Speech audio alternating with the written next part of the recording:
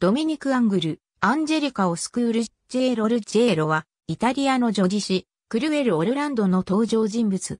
エステ家の始祖とも言える存在で、オルランドと並び物語の主人公として活躍。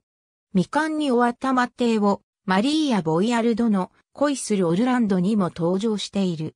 ヘクトールの子孫である、レッジオ・ディカラブリアの騎士と、アフリカ王アグラマンテの娘との間に生まれる。母が妊娠中、父は陰謀に巻き込まれ、殺されてしまったため、ルッチェーロと双子の妹、マルフィーザは魔法使いのアトランテに扶養された。なお、マルフィーザは7歳の時に生き別れたため、成人するまで会ってはいない。後に、イスラム軍とシャルルマーニュの戦争の際、出身を知らずに従軍。キリスト教徒と戦うのだが、そこで、シャルルマーニュの命、ブラダマンテと恋に落ちる。しかし、敵同士であること、養父はトランテの必要な妨害に遭うが、最終的に、ルッチェーロとブラダマンテは結ばれ、彼らの子孫がエステケとなる。これは、やはり、ヘクトルの血を受け継ぐクレルモン家のブラダマンテとルッチェーロが結ばれ、ヘクトルの血筋が結びつくことで、エステ家ができたという設定にすることで、エステ家を賛美するもの。なお、アトランテが必死で、ルッチェーロの恋愛を邪魔したのは、ルッチェーロがキリスト教の洗礼を受けた場合、裏切りに遭い、殺される運命を予知していたためである。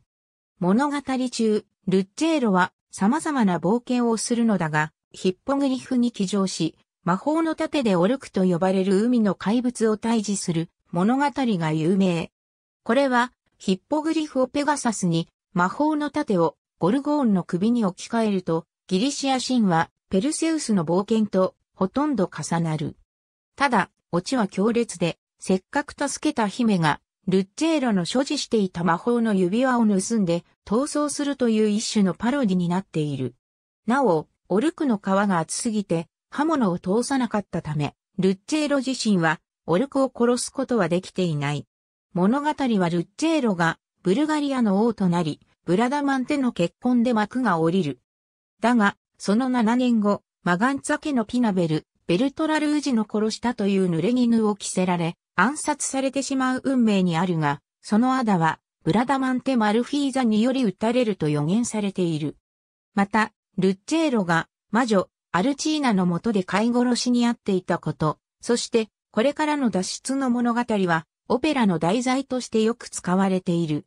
例えば、フランチェスカ・カッチーニが、ルッジェーロの救出を、ゲオルク・フリードリヒ・ヘンデルが、アルチーナを発表している。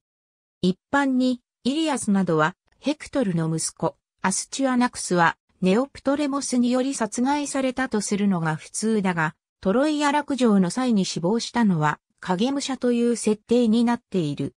なお、イタリアは、トロイアの残党、アイネイアスが建国した国とされるため、トロイアの武将、ヘクトルの人気は高い。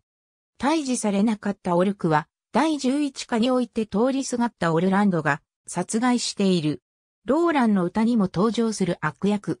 クルエル・オルランドでは、彼の死因が異なる。ありがとうございます。